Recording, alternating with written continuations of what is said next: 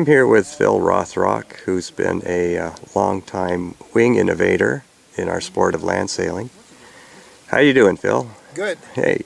So when uh, did you start land sailing?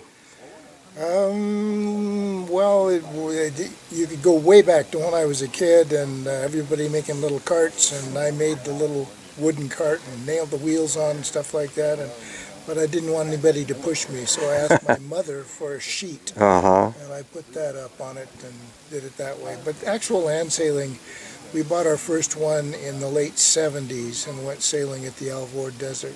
A little Manta single. Mm-hmm. Yeah. And then uh, what spurred you on to uh, Well- start developing wings? After doing the the Manta single for a while at the Alvord Desert, we heard that there was a regatta down at Ivanpah, and that was our first one, 1980. Mhm. We went to, and that was my father. My father and I went down there in 1980 with our two Manta singles on top of a VW bus, and uh, and then we and it's a two-day drive coming back, so we kept talking with each other about ways to improve them, make them go better, and that kind of thing. And finally, when we saw Russ Foster and his wing, that just seemed like magic to me. Yes. And so I would practically drool on that yacht every time it came in and talked with Russ and try, went back and did a lot of study trying to figure out how the wing worked, wing and flap combo. And that's what really got us going on designing and building wings and trial wings and some of which worked and some didn't. And we So- finally got it down to um, a, a plan that works quite well. Yes. What was your first iteration of a wing? Was it just a uh, single wing with no flap, or did it have a was flap? single wing with uh, no flap. However, it was a wing that was in five sections, so um, you could uh, articulate it and put camber Mhm. in the wing. And what was that boat called?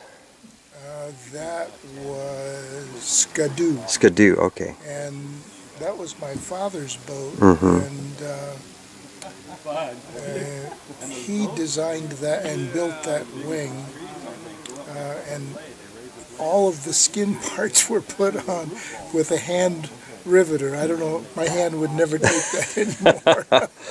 That's funny. Uh, but he had a theory that um, as you sheeted out, you needed more camber, and as you sheeted in, it needed to go flat. Mm-hmm. And so he made all of that automatic, kind of over-engineered, so Mhm. as he would sheet the wing out, it would put camber in itself. As you sheet it in, it would flatten out, and as you sheet it out the other side, it would camber the other way. Until he found one point the wing got stuck in a cambered position, and he could still sheet it in cambered, and he said he just went through the fleet like mad. Wow. was very surprised Uh-huh. at, at that. Um, so that got us thinking about wings and flaps. What was the uh, first wing with a flap that you guys had made? Uh, that was one called Zephyr, and it was a big steel yacht that um, had a double slotted flap because my studies showed that the double slotted flap would provide the most power for a wing and then you know obviously it's lift on an aircraft so it would provide a great deal of lift with a double slot Mm-hmm. and you see that all the time, double and triple slots actually, as planes come in to land, you look out and see holes through them. Mm-hmm. Um, and we're using the same thing to power our yachts. And lo and behold, it worked extremely well. Uh, it had a lot of power for as heavy as it was. I mentioned to you the other day an 1,100 pound Yeah, weight. I That's think amazing. it was a two-person yacht, Mhm. and I may have been thinking of two 200-pound people inside at the same time. So Yeah. it may have been more like a, a six or 700-pound yacht, but it was very heavy. Yeah, that yacht, I actually got a ride in it with you, and that really influenced me to uh, want to experiment with wings as well. It's quite the ride. yeah. so, It- And then from there, uh, I think you concentrated on building lighter and simpler, and then you went to just a one flap type system. Yeah, I found the double, while the double slotted flap does provide a whole lot of uh, low wind power, um, without being able to pull those flaps in, Mm-hmm. uh, it provides drag at high speed. Yes. And so the single slotted flap still does, provides enough power to get it going and yet less drag at higher speeds. So uh, that's what we got into. And then we experimented flopping the flap from side to side and experimented with different size flaps. And then I thought about uh, reducing um, the, I guess the the pressure point uh, that causes the yacht to tip. So I, I experimented with a double wing, one wing on each side. Okay. Yeah. hmm Um, but I had just simple flaps on those, so it worked, but too much hassle. Mm-hmm. hmm So, A lot of moving parts there. yeah. And then um, your last wing um, was named after your dad, the Arthur A. Yep. And it was, pro- I bet you your most successful wing. Um, it was Oh, yeah. lighter at what 350 pounds, something The like that. Oh yeah, 375. And it was a class four, which means it had 50, 59 square feet of uh, wing area. yeah. And I think you had actually a little less. I did. and that one, you actually won the world championships out here at Smith Creek in uh, 2014 in class Yeah. two. Thanks- Against boats with- fact that Alan spun out. Oh hell! but uh, and you were racing primarily against boats with twice the sail area in Well, that that's, class. That's true, but they they they really couldn't keep up with our winged yachts or with Alan. Yeah. It, it just it was no contest. It was really down to just a few boats at the top. So Yeah.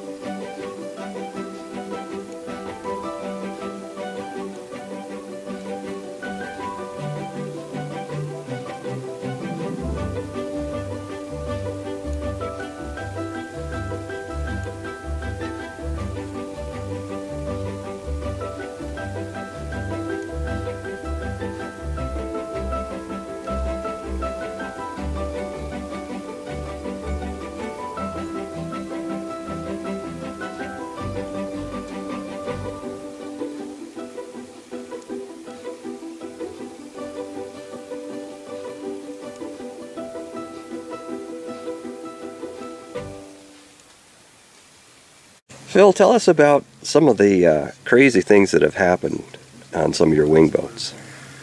oh my gosh, there are many, many, many because we're learning how to run these wings, learning how to build them, learning how to balance them, and so it gets kind of kind of crazy just to start with. But probably one of the craziest ones was on a yacht that I had called the Zephyr, which was a two-seater yacht with uh, front cockpit. Uh, and I had a, uh, 79 square foot wing up, so it was quite big. The wing itself weighed 190 pounds. Wow. It was heavy, and uh, we I learned in running it. I did have a speedometer inside, and I learned in running it that I had it. Um, I designed it for the wing to be balanced, so that I didn't have to have too much pressure on my controls Uh huh. and I hit that balance point pretty much exactly because I found when I got up over 70 miles an hour, uh, when I was, you know, if I would let go of my control wheel, normally at uh, normal speeds it would sheet out automatically. Right.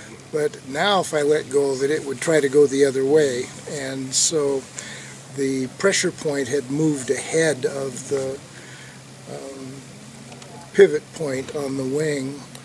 And that caused all kinds of problems because the wing would get into an oscillation Yeah. mode and it's very dangerous. Yeah. So I was at the Alvord Desert uh, and the, we had some ranch hands come up. And uh, one of them said he'd like to take a ride with Huh. me. And I said, that'd be fine. You can do that. And his buddies were saying, okay, you, want to, you need to let us know now. You want to be buried with your boots on or off. And they, we all had a good laugh. Oh, that's and, good. And I, we got in the yacht together and uh, headed off and I was watching the speedometer because we were over 60 miles an hour, 65, and I said, okay, 70 is this point, I don't want to go over that. But we got caught in a gust of wind, and uh, suddenly it shot up over 70 miles an hour, and I was already in trouble, and I could feel the wing start to do its shaking Oh no. and uh, it began, began to get violent enough. I just told the guy, hang on, hang on. Well, what can he do? You know, his eyes were big as saucers. Oh well. Uh, the yacht started doing its dance where it would lift one wheel up and slam it down, Oh, man. and the other one and slam it down. And at one point it hit them both and popped up on the front wheel. And, and finally, I got this bucking Bronco under control and stopped out there in the middle. We were a long ways from camp. Nobody was anywhere near us. So I got out to assess the damage. Uh, the control cables for the wing had broken, so I had no way to control from inside. hmm The axle, which on that particular yacht was made out of an aluminum I-beam, um, it was bent enough that with two of us in the yacht, it was dragging. Um, and the m- mast, the steel mast that went up inside my wing, had popped out through the side of the wing. hmm The wing was still standing, Oh but uh, gosh. everything was damaged. Uh huh. So I said, well, we got to get back to camp. If you can get inside and steer, then I think I can stand on the axle and orient the wing. And so I stood outside, and yes, we could get it going, but there was still too much weight back there because it was dragging Right. as we were going. Right. And so he was the one who suggested, he said, How about I go up there and do a bareback? and I said, What do you, you mean right up on the front? And he said, Yeah. He says, I can lie down on the front of the fuselage there and I'll hold on to the axle, uh, I mean, onto the fork, and I can steer it up there. uh, and so we didn't have anybody in the cockpit. I was riding on the axle, orienting the wing properly to get some get some speed up, and he was lying down way up front, steering us back to camp, and uh, we got up to a pretty good speed going back that way.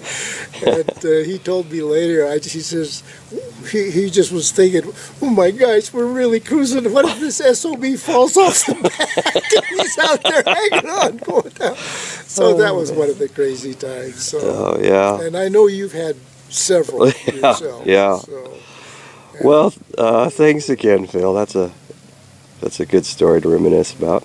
yep, it was crazy. But Okay. we, we did make it back and had a lot of repairs to do.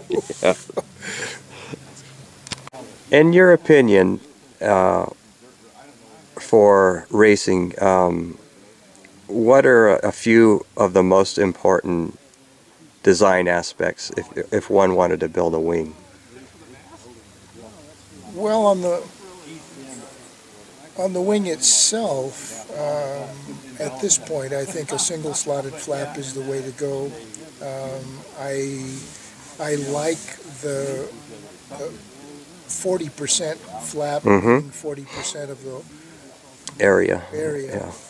Yeah. Uh, and then this flap itself doesn't need to be very thick, but the the forward portion of it, the main wing, I think uh, you do find with 20% or even 22, 23% Mhm, thickness on mhm. those, because that makes it really uh, like a 12% thick wing if you consider the full area. Correct. Yeah. Um, And then on the flap, if you can do it at 12% thickness on the flap and still have the strength required, you're in good shape.